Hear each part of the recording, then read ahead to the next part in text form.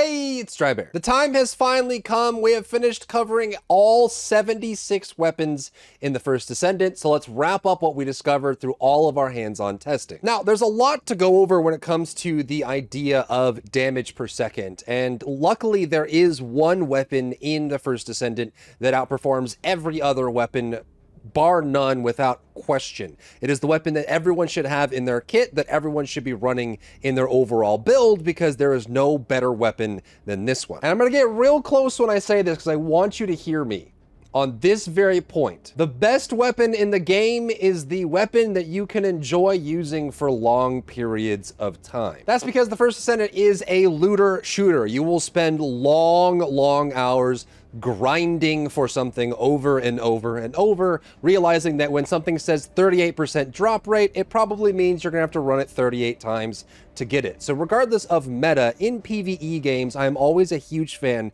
of people playing what they enjoy, what they are, you know, they get excited about and want to use. And regardless of meta or what other people tell you or whatever is the best on paper, I think you should always include in your kit something that interests you that you want to try and make stronger because the spirit of PvE games is always trying to find that broken runaway combination of things that you thought of on your own and put together and you get to see it come to fruition, and you're then motivated to farm a bunch in long hours and long sessions to make it stronger to prove your idea. Now, I'll put on screen the results of all of my hands-on testing for this, and I want to then go through explaining all of the numbers you're seeing on screen, but I know there are people out there that just want to get to the data, and they just, that's all they're after. So if you're just here for the data, here is the final resulting data of all the weapon testing that we've done over the last three to four weeks, uh, and just make sure you hit the like button on your way out now that you've got that set up. But now let's yap about the disclaimers and the discussions around these DPS checks, around these weapons and how they function and what they're really used for and how they compare together. First of all, I wanted to address this because this has come up a lot during this process. I have done this before. I've worked on and shipped two different shooter games as games and worked on them after they launched as well, handling live balance, game design, all of that. You're welcome to check my LinkedIn or any of that if you really care that much. And I don't say that to mean that I'm uh, somehow infallible. There's plenty of mistakes in here that will need to be revisited in the future. I just say that to mean that I'm not exactly bumping around in the dark here, that this is familiar territory for me when it comes to designing, testing, and comparing various gameplay mechanics between weapons in a shooter game. The next disclaimer is around how these weapons were tested, because obviously your build isn't just your weapons in the first Descendant, it is also your Descendant, what your character does, how your character interacts with those weapons. And what I wanted was a standardized, normalized system to compare all of the weapons together. That wasn't just, okay, if you have Enzo buff on, this is what this weapon does. Or if your name is Gley, this is how this weapon performs, because those kinds of edge cases and niche scenarios are going to change the output and functionality as well as the weighting for all of these weapons in that. So none of these, outside of maybe Fallen Hope's AoE testing, has been focused on on descendant combinations, and that's how you can work your way back from it to create whatever build you're looking for. This is the weapon to weapon comparison. All of these numbers you're seeing on screen are the weapon when it is maxed out, the maximum possible DPS for the weapon in its element, in its most possible DPS output form, and we'll go through all the build sheets that I've been making over the last month to bring out the best and also to create your own build for these weapons. Now, down below in the description is a link to the overall DPS numbers for all the weapons, but I've also put all of my build sheets into a uh, an album online that you can use and reference. So every single weapon in the game is in this album, so you can look for a build setup. But first, let's cover how to read the screen you're looking at, because I've got a lot of questions on this throughout this process about what is this that I'm looking at? How am I supposed to use this overall? So the way you read this sheet that you're going to see for every weapon in the game is the bottom right, the center screen build is the build that has either the recommended build or is the build that provides the most amount of possible DPS. However, again, I'm a big fan of people creating their own builds and creating their own comfort when it comes to grinding games you're going to spend long hours in over and over running your head against a brick wall. I wanted to just not give you the best possible DPS or the best possible build. I wanted to give you a direction to move in and then the tools that you would need to create your own build. So what you're seeing on the bottom right is the optimal build for the weapon that brings out the best of the weapon. However, it may not be the most comfortable for you or you may want to try different options. Maybe you want to swap something out. Maybe you want to add in movement speed or swap speed. Maybe you want to have more reload on weapons when the reload takes too long. And even if it's a DPS loss, you don't want to spend most of your time. Like every time you reload on a weapon, you get angry a little bit and that starts building up over a three hour farming session and you just want to have better reload. You don't care how much damage it does. You don't care about any of that. So you're able to swap things out. On the left side of the screen, these are the weightings for the modules. What I did is I took the module that provides the most possible DPS out of all the modules for the weapon, weighted based on that weapon's specific stats. I have a spreadsheet that I'll link in the description as well that has a full list of all of the modules in the game based on the stats they provide when they're maxed out, the module, like the change they'll have on the weapon itself, as well as the different like sets for different ammos, things like that. All of the ammo types have different modules. There's a whole bunch there's over, you know, what is that? Over 200, almost 300 modules on here listed for all the different types, and we have the the weightings for all of these. So I went through and made a test for each individual module, how it will apply to the weapon, and also how it would end up affecting the end result DPS. And then we did a run for the end result DPS for the weapon as well, so that we look at the weapon itself and all of the stats on it. I'll create a version of this that you guys can edit if you want to mess around with it. There's also some options here for testing out the passive if there's a unique that has a passive like Thunder Cage, Greg's Reversed Fate, King's Guard Lance, all of those have triggers for their passive that you can test out as an AoE or individual passives if you wanted to do burst from things like Peacemaker, all of those are there. So what we did is we found the, the a module that has the biggest overall impact to the DPS on the weapon. I then set that module as the new benchmark. So that's the percentage you're seeing on the far left side of the screen. So if 100%, this is the this is the module that has the highest possible addition addition to your DPS for this weapon's specific stats and stat weighting.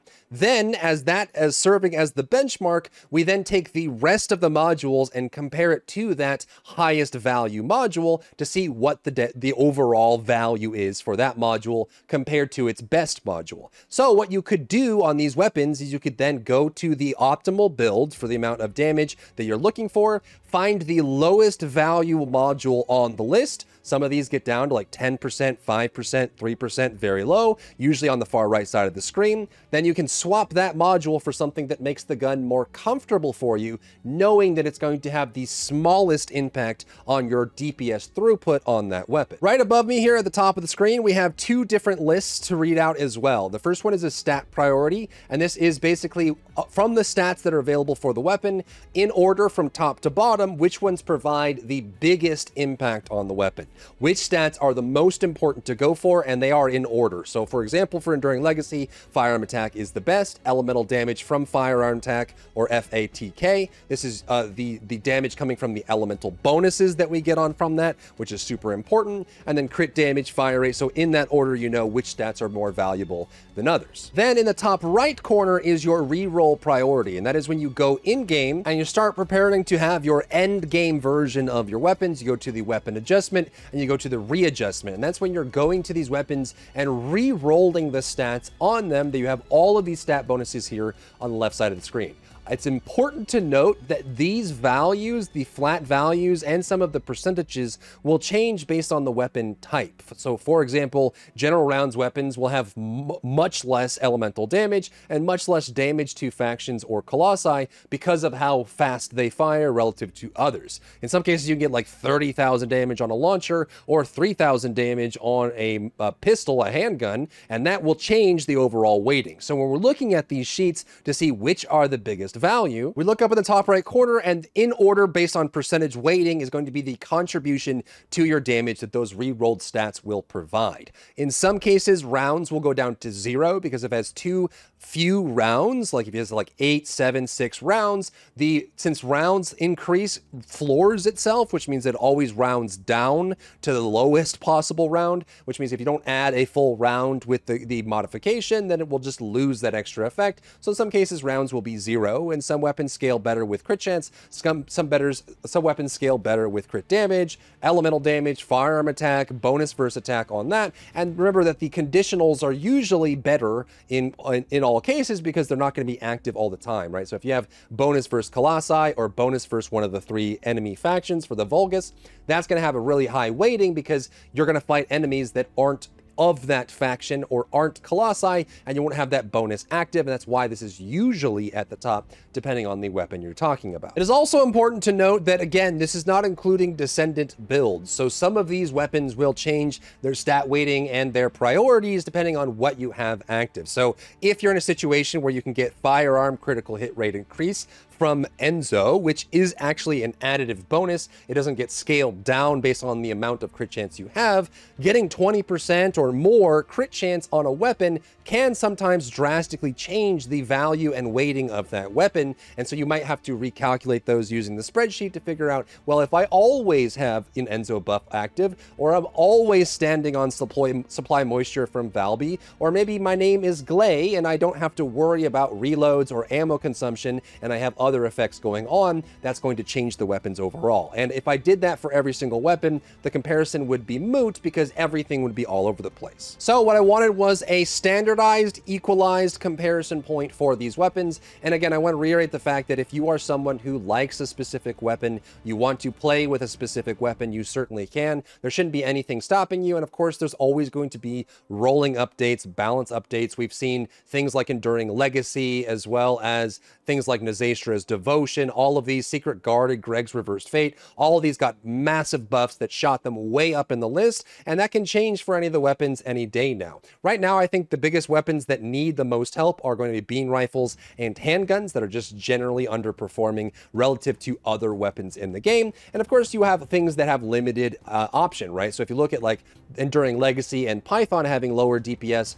than these high power weapons, keep in mind that the high power weapons have a much smaller smaller available ammo pool. So you would expect that the high power weapons that have ammo that is harder to keep, you can't really shoot a high power weapon all the time unless your name is Enzo or you have an Enzo nearby supplying you ammo. And also in those cases, you still run out of high power ammo. Even with rounds conversion on those, you still run out of high power ammo. So you would expect those to be a lot burstier. And then for that reason, you have to include that as an asterisk to the high power weapons compared to the more uptime related weapons. Now, my hope for this list is that you use it as a resource, a reference point for the builds that you create, the weapons that you like, and a way to compare the weapons together in the game as you move forward and make your own experience. This is not to say that this is going to be the end list, and of course, as we receive more updates, these numbers will change, and of course, your opinion of the weapon is going to be the most important factor. So run whatever you want, whatever feels good, use these builds as an option to make weapons work for you. Again, if you want to play a weapon that's not currently popular. I covered all the weapons for that reason so that you can have a build reference and a stat weighting sheet that allows you to reference that weapon and say, okay, I want to start making my own of one of the worst weapons in the game, by the way, is currently Dimensional Bridge, the beam rifle. If you wanted to make that as a weapon just because you want to as a challenge for yourself, you have a baseline to use that for. And I'll also mention for the weapons that end up having the exact same weighting, I ended up grouping them together into a, a, uh, a block. So basically the weapons that basically they would function the same way. They have the same weightings on the mods, very similar, if not the exact same weightings on reroll, that sort of thing. I ended up putting them together on one sheet. But you'll find all those sheets down below in the comments and description. You'll find the full list of the weapons down below in the comments and the description as well. And let me know if there's other questions or comments you have for me or drop by my live stream. I'd be happy to chat with you. If you found value in today's video, leave a like down below, leave a comment for the algorithm to help this video get seen by more people.